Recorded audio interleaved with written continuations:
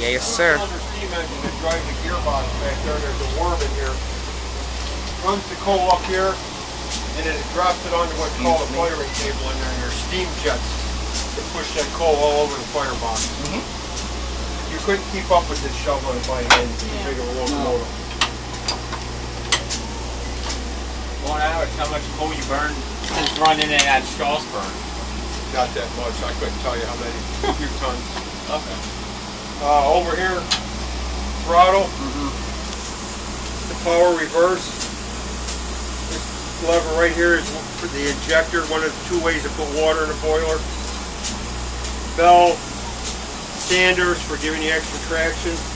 This is the train brake for the train only, and this is the engine brake. Cylinder cock sets to see when you see them coming out to get the water out of everything. Speedometer, uh, steam chest gauge, tells you how much steam you're putting into the cylinders.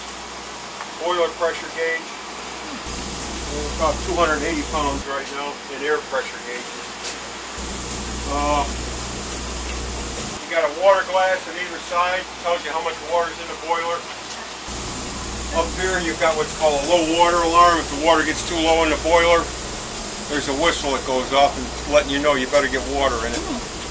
Uh, this is what's called the top of the crown sheet, the steel in there where the keeps the water and the fire separated.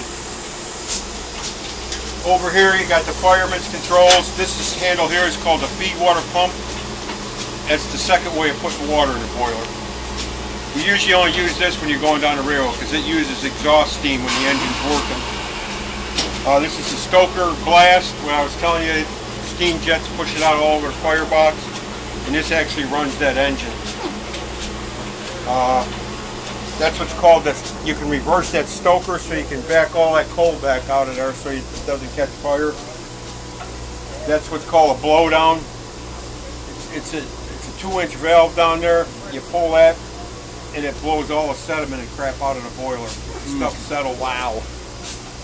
Uh, gauges over here. Boiler pressure gauge.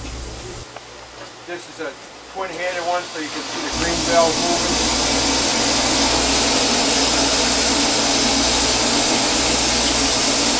And this is gauge for the hot water pump. This we don't usually use at all. It's a automatic grate shaker. When you clean the fire, you can shake the grates. Yep. If you hit it too hard, you can dump the whole fire, so we don't even mess with it. The only time we'd really use that if we did have an emergency and we had to dump the fire, we just mm-hmm. hit that. Uh, you can see we got all the amenities at home. We got a footrest for the firemen. We got air conditioning.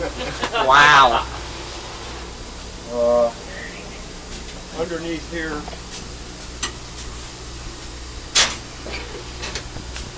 Those are what I was talking about when we clean the fire. Those are the Yep. grate shakers. We got a bar, and you can rock that whole fire bed. Yep.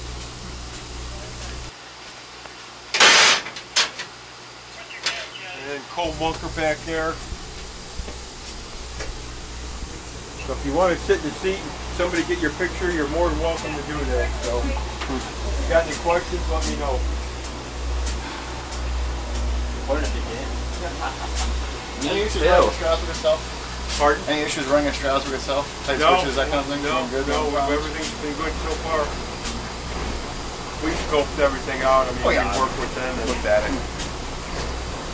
There was an issue, if we would have come up here, we could have come up here.